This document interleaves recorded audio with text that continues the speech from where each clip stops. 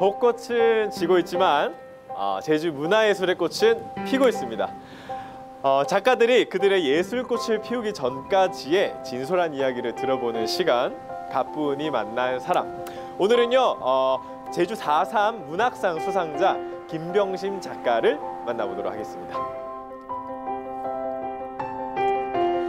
희노애락을 넘나드는 신 김병심 작가는 우리에게 어떤 이야기를 들려줄까요?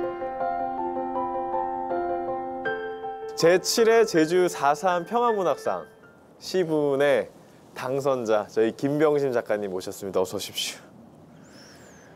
소감 먼저 한번 짧게 하나 해주시죠. 기쁩니다.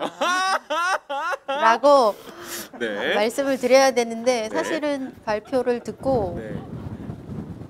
오히려 좀 덤덤하기도 하고 어, 좀 슬픔 같은 것도 좀 몰려왔어요. 그래서 이제 세속적인 삶을 다 살았구나 라는 그런 느낌 그리고 이제는 정말로 사명감을 갖고 글을 써야 되는구나라는 어, 그런 느낌을 받았어요. 일단은 당선작에 네네. 대해서 좀 얘기해보고 싶어요.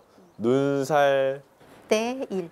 눈살 때 일. 눈이라는 거 이 눈이를 얘기하는 건가요? 아니면 이 눈을 얘기하는 건가요? 둘 다 있는데요. 네. 사실은 이 눈 살 때 내가 눈 살 때 뭘 해라 그리고 내가 눈 살 때는 이런 일을 했어라는 표현을 쓰시더라고요. 그래서 어 저는 얼른 그걸 받아 적었죠. 이게 무슨 뜻인가 해서 이제 관심을 갖고 이렇게 듣는데 사람으로서의 도리를 다 할 수 있고 사람으로서 어떻게 해야 되는가를 그 알 수 있는 제대로 정신이 박혀 있을 때의 일을 또 의미하시더라고요. 그래서 굉장히 좋은 제주의 말이란 거를 제가 알게 됐어요. 또 이 제목으로 쓴 시가 당선이 돼서 사실은 더 의미가 있어요. 저한테는. 엄마로서, 아내로서, 그리고 작가로서 겪은 숱한 좌절. 하지만 계속 글을 써내려갔습니다. 발로 뛰어맞은 현장의 공기는 영감을 주었고 일상에서 만난 작은 파편들은 양분이 되었습니다. 그렇게 걸어온 20여 년의 세월은 작가를 더욱 단단하게 만들었죠. 또 작가님 개인에게 또 어, 터닝 포인트가 있다고 들었습니다. 제가 23살에 처음 시를 써서 25살에 등단을 했어요.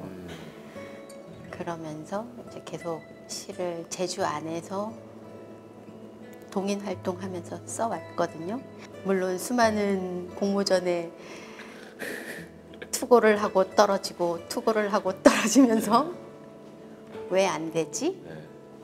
그런 생각을 가졌죠. 희망이 보이지 않을 때 선물같이 다가온 세대 공감 창작 문화 교실. 학생들을 만나고 작가들을 만나며 시에 대한 정의를 다시금 돌아보게 되었습니다. 세대 공감을 하면서 제가 발견한 게 제가 제주 태생이고 제주 것이잖아요. 그러니까 그 제주만의 특색은 너무 강한데 이게 중앙으로 뻗어나가고 세계로 뻗어나가려면 갖춰야 되는 요소를 그때 발견한 거예요. 무조건 소리 지르고 무조건 내 것이 옳다라고 그 내지르는 게 문학이 아니고 그거를 사람들한테 어떻게 잘 스미게 하고 전달할 것인가가 문학이라는 것을 그 세대 공감을 통해서 제가 발견을 했어요. 그래서 힘을 빼고 부드러운 서정을 이 무시무시한 하고 정말 놀라운 제주만의 그 역사와 보물들을 잘 풀어서 이렇게 전달하는 역할을 해보고 싶습니다. 앞으로도 나오는 지필에 그 정신이 잘 녹아드는 작품 그럼 기대하겠습니다. 고맙습니다. 오늘 인터뷰 감사합니다. 세상의 부름에 응답한 시대의 음유시인 정태춘 박은옥 또는 박은옥 정태춘 이들의 40년 예술 일대기를 만날 수 있는 전시가 열렸습니다. 정태춘 북글전입니다. 시대 음유 시인이시죠. 네, 어떤 전시인지 먼저 전시 소개 부탁드립니다. 아시다시피 뭐 정태춘 가수이기도 하고 사회 운동가이시기도 하고 또 문화 운동가이시기도 하시죠. 한 10여 년 전에 이제 곡 발표를 이제 아, 안 하시고 한 10여 년간 다른 예술 작업들을 좀 많이 해오셨어요. 그 중에 이제 북글이라는 새로운 장르를 만드셔서 이렇게 작업을 해 오셨는데 그런 것들을 쭉 모아서 제주에서 뜻깊은 전시를 하게 됐습니다.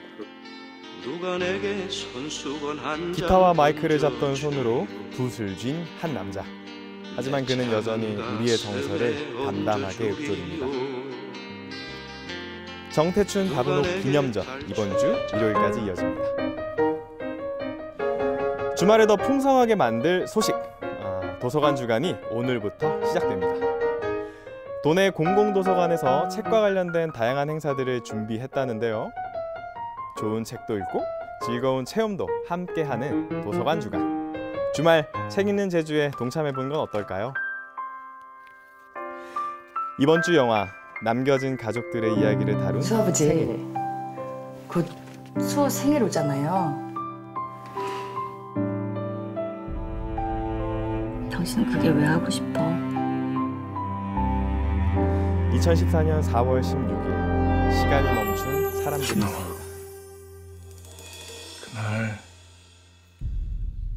수호도 올 텐데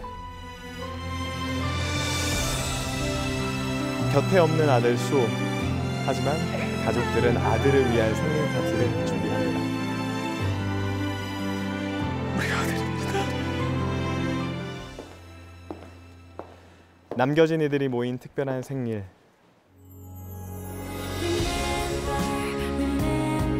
잊지 말아야 할 그날 세월호 참사 5주기가 다가왔습니다. 따뜻한 위로를 전할 생일. 위에 이들을